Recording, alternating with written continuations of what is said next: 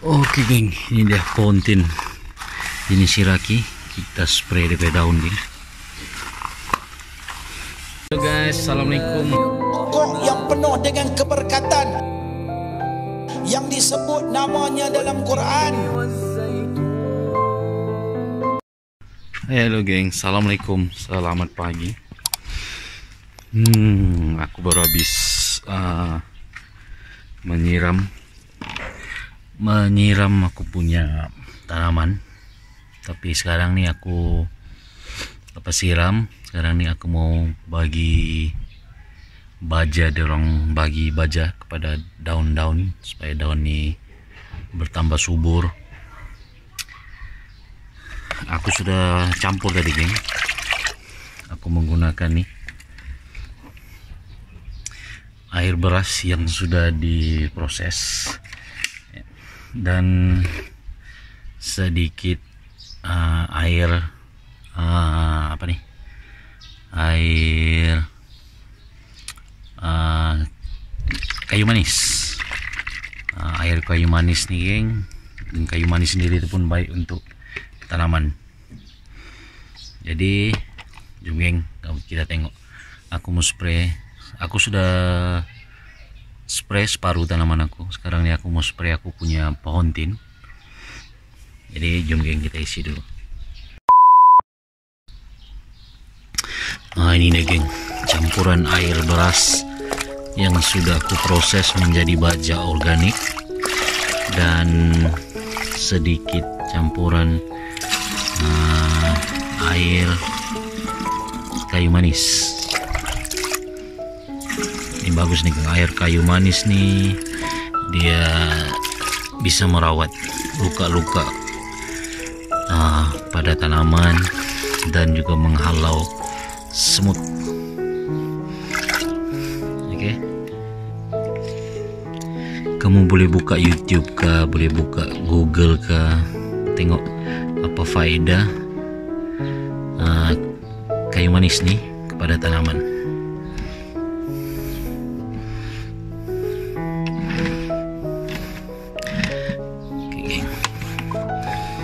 mau dipam dulu nih geng.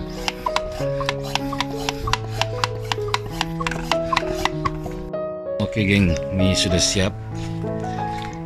Jadi jom geng. Kita spray dulu kita punya pohon tin. Oke geng. Ini dia pohon tin. Ini siraki kita spray DP daun geng. Kita spray tanahnya daunnya tanahnya untuk menghalau semut. Sebelum kita pakai kayu manis tadi kan. Ini nampak nih serangga nih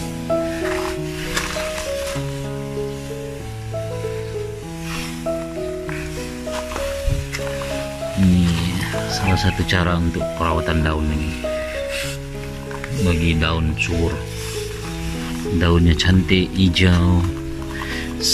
Dia ibarat dua dalam satu lah. Merawat daun dan menghalau serangga.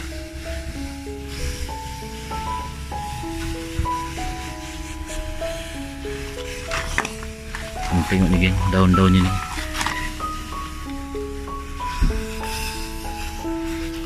Subur kan?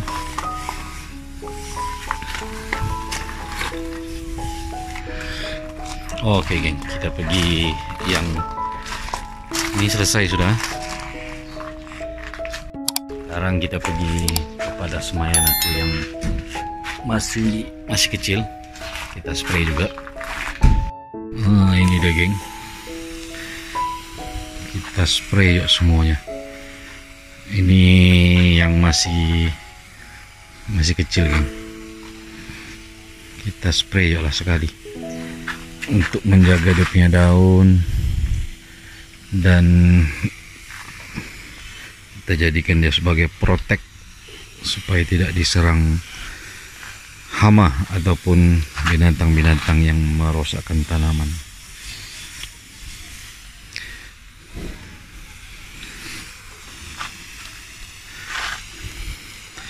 kita spray begini saja. Hmm. Oke geng, nah selesai kita kita spray kita punya tanaman untuk pagi ini.